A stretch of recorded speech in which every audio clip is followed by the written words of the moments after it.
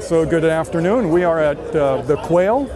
I can take one of these anytime. We're here in the Lotus stand uh, to see the Evija. And so we have with us from Lotus. Matt Windle. I'm the Executive Director of Sports Car Engineering. So I am the man responsible for all of the new product design that's going on at Lotus at the moment. We're privileged to have Mark uh, share a little more insight about the car. It's the first uh, British produced hypercar. Uh, it's all electric. Um, and this, this for us is a halo product that uh, signifies where we're going with Lotus. I mean, one of, the, one of the most striking things about the car is the design language. Um, we wanted it to still be a Lotus. Um, we didn't want it to be wacky. We wanted it to be um, there for a purpose, so functionality.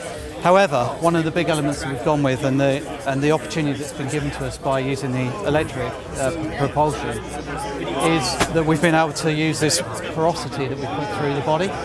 Um, the downforce figures is one of the things I'm not allowed to tell you right now, uh, but this will have downforce that uh, surpasses anything you've ever seen before. But also we were keen for, to maximise the range of the vehicle was to reduce the drag.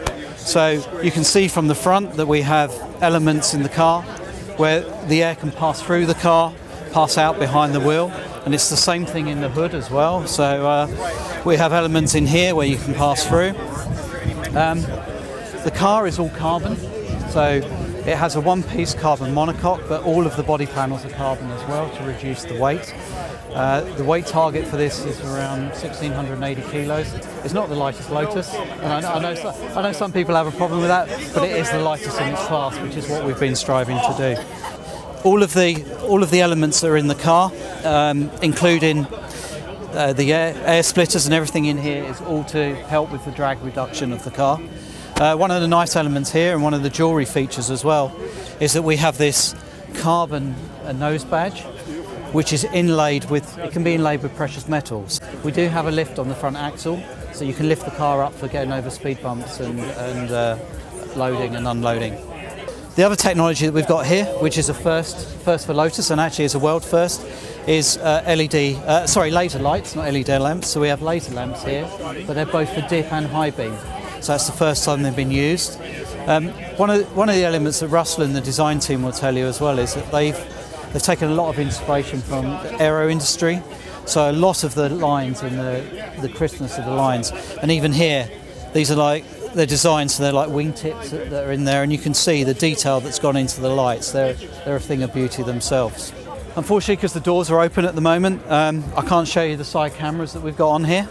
But again, to looking to reduce drag as much as we can, we've done we've done away with a traditional mirror. Uh, and uh, the cameras deploy when the car is uh, driving. And there's some display screens inside the door. We've done the same thing with the rear camera as well. So there's a, a display screen in the centre where a traditional rear view mirror would be, but there's a camera on the back that shows you. So I guess as the doors are open, we should have a look in the inside as well. What, what we've really concentrated on in the inside of the car is for it to be minimalist, but also it's luxury. So it's not a stripped out car, but it's really focused. Our belief for the cars that we're designing is they're for the drivers. We want these cars to be used. We don't want them to just be in a museum.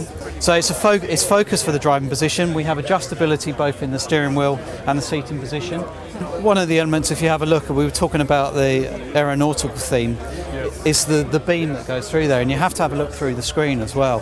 So it's a floating beam structure, but in again in Lotus tr- tradition, we've tried to make that multifunctional. So it gives you the structural beam that you need for supporting the steering column and the crosscar strength, but also it's the ducting for the air vents for the HVAC system as well. Um, and it's it's a thing of beauty itself. So um, it's got integrated infotainment system, so you will have uh, uh, Apple CarPlay in here, so you can have your maps. So it could be your daily if you wanted it to be, so that'd be fantastic. Um, we've also made the centre console with uh, the driver touch system, so they're haptic buttons and um, they have indents in them as well. So the idea is that you're driving at speed, you can feel down and you'll learn where all the functions are that you want on the car, so that you're not taking your you're not taking your eyes off the car. So power doors. Um, uh, dihedral doors as well, and as you can see, there's a big section of the body side is on the door, to improve the access. So again, and a, a six, well, a six foot seven person will comfortably sit in this car as well. Again, on here, we talked about the badge at the front. There's another piece of jewellery that is, is inset into the body side. This could be anything. I mean, we've gone for a Union Jack to show it's, uh, it's British, but if you wanted to have a family crest or your children's names, whatever anybody wants, we, c- we can put that on there. One of the things that Russell Carr talks about is that he wanted to get a car that looked like it had been carved by air, carved by nature. Um, there's also an element of porosity. So you can see these massive Venturi ducts that are in here. Um, and they are designed to speed up the air and then control control the weight that's coming off of the back of the car. So everything is designed around improving the range and the, um, of the vehicle. So the range the range that we're estimating, I mean, it's at the moment the, the figures that we publicise are estimations, and I, we think they're on the low side. Is on a WLTP cycle, which is a normal driving cycle on road, highway, uh, t- 250 miles in the range. So what we can't see is uh, it's. I like to joke that this is our uh, this is our mid-engine battery pack that we've got here. So the Lotus Dynamics, uh, the battery pack is sat behind the driver. Um, so very much in the, it's a replacement for where the engine would be on the car. But we've really tried to make the cabin and the battery pack so it's it's down between the wheels. So if you could sit in the cockpit, we were keen to make it feel like you're you're wearing the car rather than sat on top of the wheels. Um, and one of the things that we have is the front haunches on the car. You can see them. So pretty much as uh, the Becker corners as they used to be. On this car, you have your Becker corners. You can see where you're placing it as you go in there. So you can see you can see the damper arrangement in the back of the car there. So we've gone for inboard dampers front and rear. Um, because we wanted to, we wanted the opportunity to put the porosity through the car. So these are produced by our friends Multimatic just down the road in Thetford. So uh, another piece of uh, Norfolk uh, supply that's on the car. Active Aero, I think I think you managed to catch Ben the wing going up and down there. We've also got active DRS reduction system in the back, if you can see that. The rear diffuser on the car is is a thing of beauty itself. Um, the majority of the downforce for the vehicle is generated through the floor. Again, so we have we have the Lotus badge on here. The T, the T is going to be the reversing lamp.